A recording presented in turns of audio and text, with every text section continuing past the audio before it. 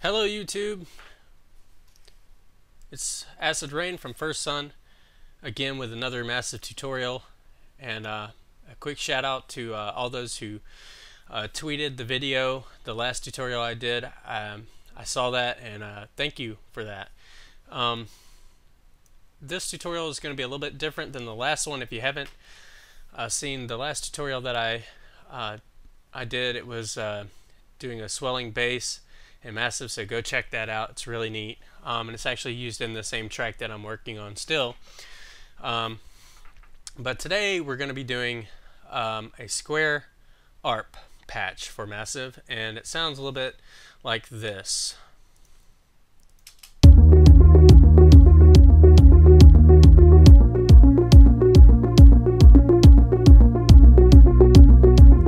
Now that you've heard it, um, when you add this pad in, uh, when you add this ARP in with some pads and other elements to uh, to a track, um, it sounds really really good and it's really supportive of all the other elements around it. So um, I'll turn the pad on and let you hear what it sounds like with the pad.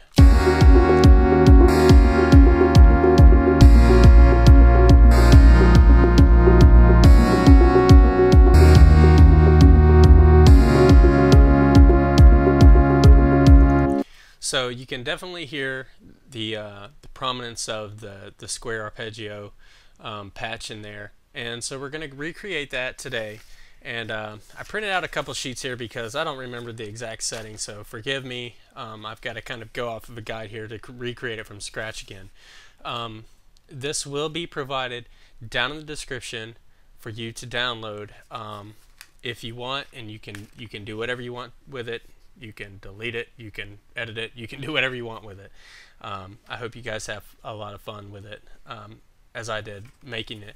Um, so the first thing we're going to do is we're just going to add a new massive in here, like this. And for good measures, we'll just turn make a new sound, file new sound, and we're going to turn on oscillator 2. Uh, oscillator 1 is always turned on. So what our oscillators do is they shape the waveform that we're uh, getting um, and they actually create the sound.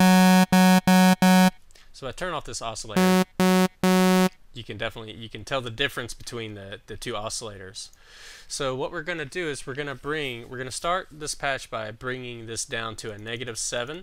Point, uh, 0.07 and then we're going to bring this one up to a positive 0.7 and that'll give us something like a saw wave kind of sound like that and then we're gonna drag these two up all the way and what this does is it routes it to filter 1.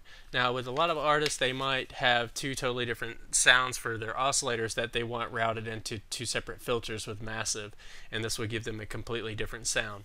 Uh, for this patch we're just going to use one filter so drag this all the way up keep both of these up to filter 1 and then we're going to modify the positions of some of these knobs here. And the first one we're going to do is we're going to bring the position all the way down. We're going to leave the intensity and amp all the way up. And for oscillator 2 we're going to bring this back to about here. And our amp we're going to bring that back to about here. And now that we've done that um, we're going to move on to our filter um, for a filter, we're going to use a low pass 2. And uh, I'm going to go ahead and play what I have so far. That's very square kind of sounding. Um, we're going to go ahead and we're going to add a low pass 2 in. And you can already tell the difference. Now, what the uh, the passes do, low pass, high pass, um, all band passes, it filters out certain frequencies um, so that only some frequencies are playing through um, the oscillator.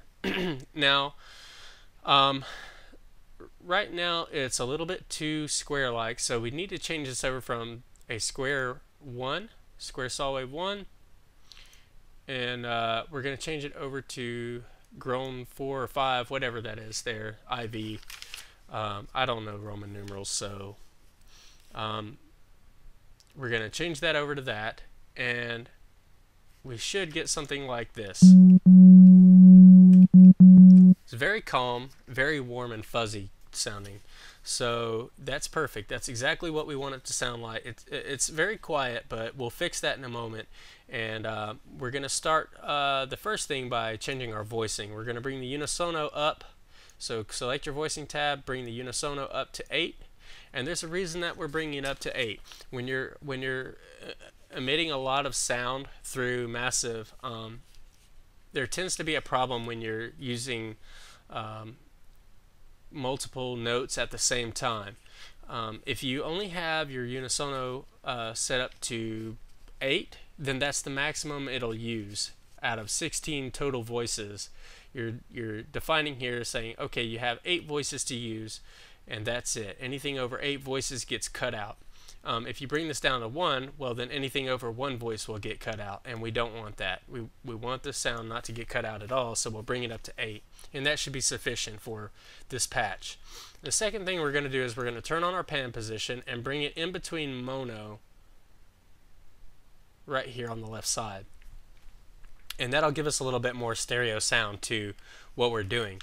Um, now, now that we've done that, um, let's not forget to turn our resonance all the way down because we don't want a lot of uh, really high frequencies getting out. Even though we have the low pass 2 turned on, um, there is still, when you turn the resonance up, there's still some high frequencies that can get out there and we don't want those frequencies getting out. So uh, we turn the resonance all the way down and then back down here, we're going to go into the envelope 1 and um, this is where stuff starts getting kind of fun. This is where we start shaping the sound, to, um, the envelope to sound the way that we want it to, um, for live modification and editing, and um, throughout the rest of the track.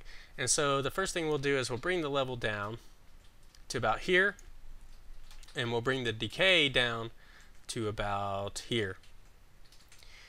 Bring the level all the way up, and you should have a, a fairly um, diagonal line here and then a small curve. if it looks about like that, then you've done it right.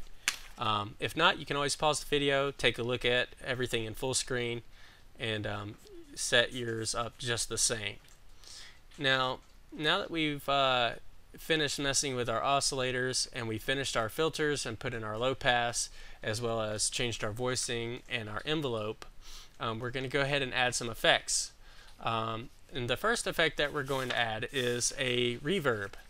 So over here in the FX1 tab, we're going to change this to reverb, and we're going to bring the uh, dry down to about here.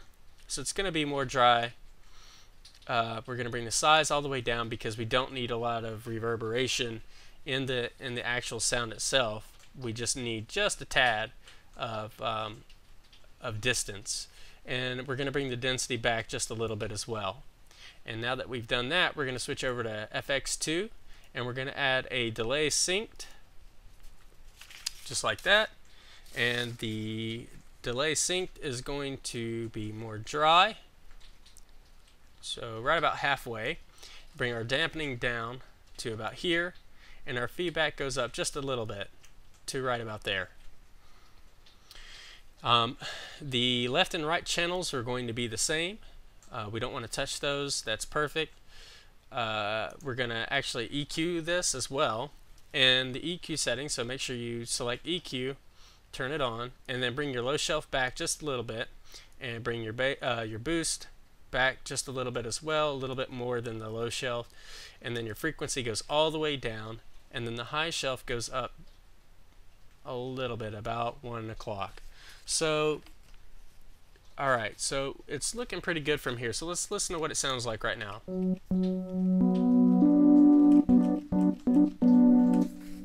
Cool. Sounds kind of like an organ right now, but um, it's going to get better. And what we're going to go for is more of like a clicking sound um, at the beginning of each note. And this gives it that tropical kind of sound to it um, that we want to have.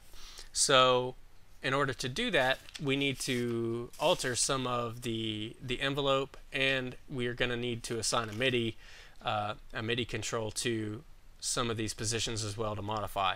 So the first thing we'll need to do is we'll need to drag envelope one into the first box here, just like that, and we're going to drag this up to about here. Not too much, about right there. And then we're going to also add one into the second box here on the cutoff on the filter 1. and we're going to drag that up to halfway, right at the halfway point, right there.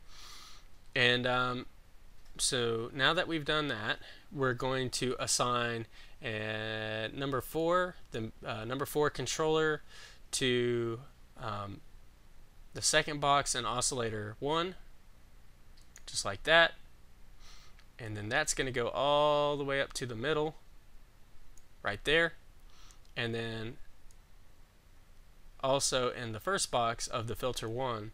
And now this one just gets a little nudge to about right there and we'll be good. Alright, so now we're going to also need to add in um, we're going to need to add in that controller as well with the level and the decay on the envelope. So on envelope 1 we're going to add it into level and we're also going to add it into decay and then bring our level up just a little bit right there and bring our decay completely opposite in the direction that it's facing right now. So it should be right about there. Um, once you've done that, um, that's pretty much it. I mean, that's pretty much the entire pad. That's the that's the entire arpeggio uh, square arp patch. And what it's going to sound like is this. And we can also bring this all the way up, like so. And you can use that to kind of uh, transform your sound as the track is progressing. However you want to do it. Um, you don't have to use it if you if you don't want to, but uh, I always add something in there, and it, it uh, gives it a little bit more um, depth to the sound itself, so that you don't need to go back and program a completely new sound to take uh, and um, uh, do a new transition to um, something else in the track. So um, that's pretty much it. As I said, that's that's the uh, square arp sound.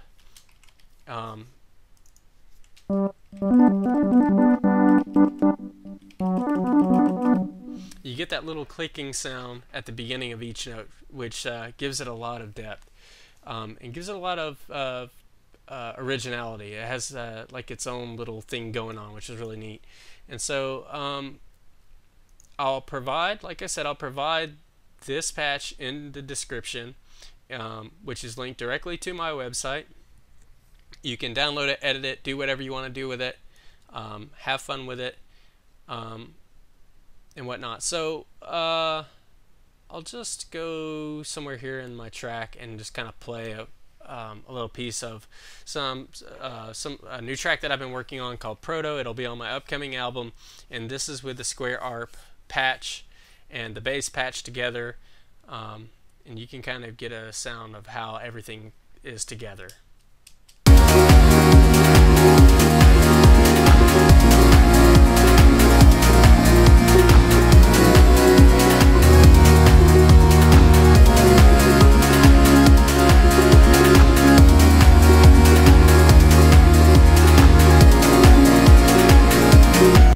That's pretty much it.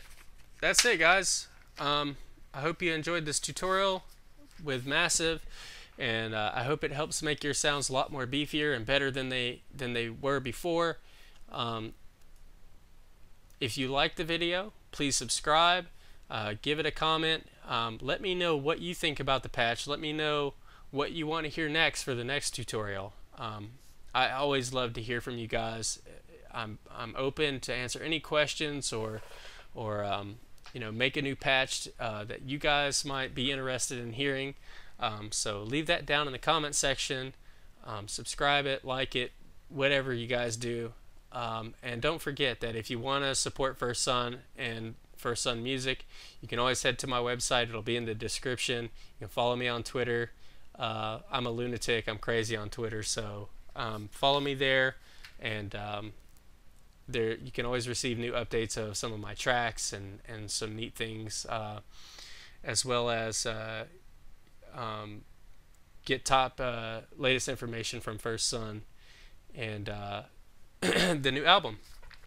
So thanks a lot and until next time um, keep taking your music to higher and better places